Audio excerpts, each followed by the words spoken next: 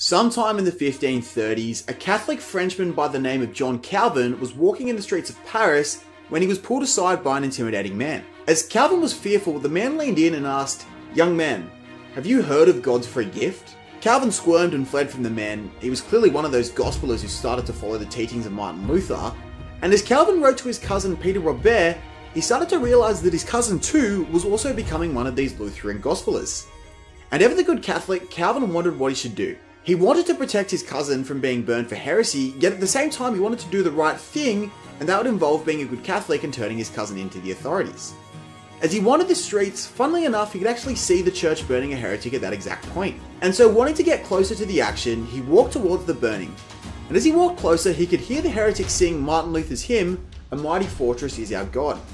And as he walked through the crowd to witness the event, he was met with utter surprise. The man who was singing while being burned was the same man who had encountered him on the street. Hello there. Okay, so obviously, as the name suggests, today we're looking at the impact that John Calvin had on the Reformation. And so, Calvin was a Frenchman who was studying to be a priest, of the Catholic Church that is, but then his dad changed the priesthood for law because law was more profitable. It was kind of the exact opposite of what Martin Luther did in our very first video of the series, which you can see here. But as part of his studies, Calvin took part in what we call the Renaissance humanism movement. Basically, if you know nothing about this, Renaissance humanism was all about rediscovering classical works from ancient Greece and from ancient Rome. And so to be a good humanist, you have to know the languages that they were written in, and so Calvin became very skilled in ancient Greek, a skill that would be very useful later in his life. Now, it's important to note that during the early 1530s, the Lutheran movement had been going for about 15 years, but Calvin utterly hated Lutheranism mainly because he was raised to view it as heresy. But at some point between 1529 and 1533, John Calvin was so moved by what his cousin Peter was saying, and by the death of the man that approached him on the street, that he actually became a Protestant. To put it in his own words, God by a sudden conversion subdued and brought his mind to a teachable frame. Just like the man we saw at the beginning, this made Calvin an official outlaw in France, and in 1534, he dressed up as a peasant worker and escaped to Basel. Now, while still on the run two years later, he wrote the first edition of his most famous work, The Institutes of the Christian Religion. Basically, this first edition of the book was a letter written to the Catholic King of France, Francis I, that provided a defense of Protestantism. His ultimate aim was to convert the king to Protestantism and then to move back to France. And though it didn't convert the king, many across Europe read the book and they were really moved by the book themselves. And so, unable to convert the king, Calvin decided that he would head to Strasbourg, which was a Protestant part of the Holy Roman Empire, and there he'd continue his writing. But as Calvin was journeying to Strasbourg, he stopped in Geneva to see his old friend, William Farel. Now, it's really important to note that this guy was one of the most fiery Protestants of the Reformation, and he was known for doing things his way or the highway. In fact, as a little side story, later on when he was in his late 60s, he actually married a teenage girl.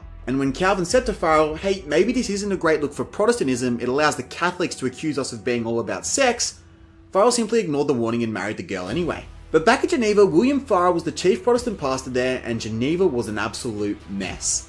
You see, there was a group there called the Libertines who had a really distorted understanding of the Reformation, and they took Luther's teaching of being saved by grace alone to the absolute extreme. Basically, they believed that because works had no role in saving someone from their sin, then there was actually no need for Christians to do good works. And they would engage in all sorts of drunken debauchery to show how good God's grace is. And so, from Farel's point of view, his city was a mess, but then his superstar writer friend John Calvin had just showed up. And so Farel put intense pressure on Calvin to stay there and to be a pastor in Geneva. Now, Calvin really didn't want to stay. Instead, he actually wanted to write quietly in Strasbourg, but Farel said to him, God will curse your peace if you do not help in such a great time of need. And so, under the intense pressure, Calvin stayed and pastored for three years, but unfortunately, it was just too tough to minister to the Libertines, and in 1538 they actually ran both Calvin and Farel out of town. So, Calvin then went to Strasbourg and he published a second edition of his Institutes, but this was a much more comprehensive edition. It was basically what we call a systematic theology of the Bible, which is a commentary of the Bible ordered by topic.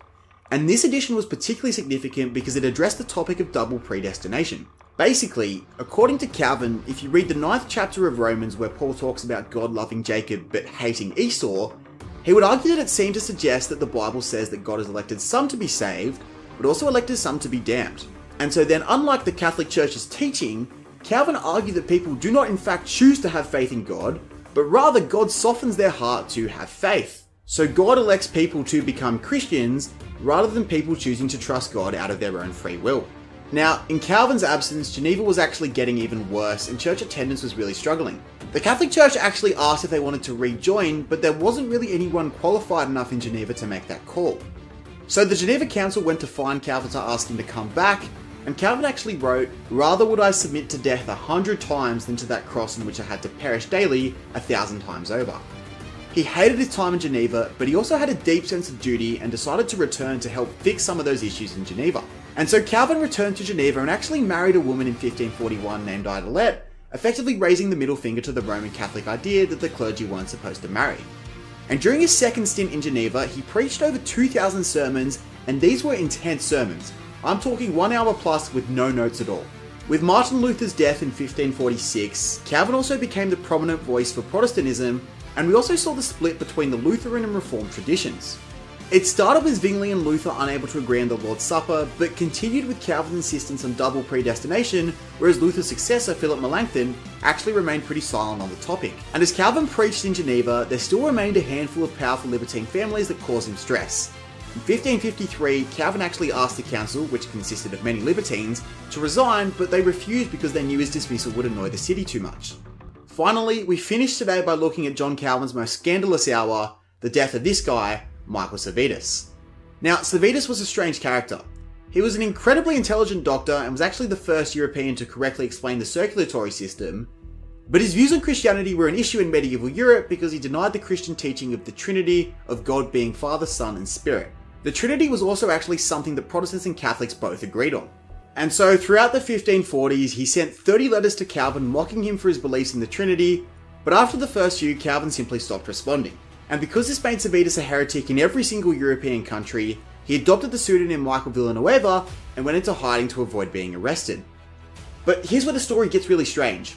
Servetus actually showed up in Geneva to watch John Calvin preach at church in 1553.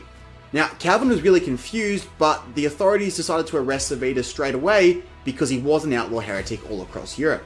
And so, if the government was going to execute Servetus for his heresy, as was custom in the 1500s, they needed to prove that he was a heretic, and so the Genevan government tasked John Calvin with the prosecution of the case. Now, Calvin was actually too ill to appear in person, and so he authored a case that was prosecuted by Nicolas de la Fontaine, and they easily got Servetus to admit that he denied the Trinity. Even the libertine supported his execution, and so the night before he was executed, Calvin tried to talk Servetus out of it, but Servetus remained adamant that there was no Trinity, and then the Genevan government executed him. Now, Calvin certainly could have done more to stop the death of Servetus, but it is important to remember the context. Burning heretics was just common practice for the 1500s, and every government across Europe favoured the execution of Servetus, even the Catholic governments too. Now, Calvin himself died in 1564, but he died leaving a huge legacy. You see, Luther might have started the Reformation, but his beliefs weren't clearly scaffolded and set out. Calvin systematized the Protestant faith, and his commentary on the Bible is still widely considered the gold standard of biblical commentary in Protestant circles today. Thanks for watching. Make sure to subscribe so that you don't miss a video in the future and so that you become an expert in the Reformation. And we can't wait to see you next time for our next venture into a fascinating part of history.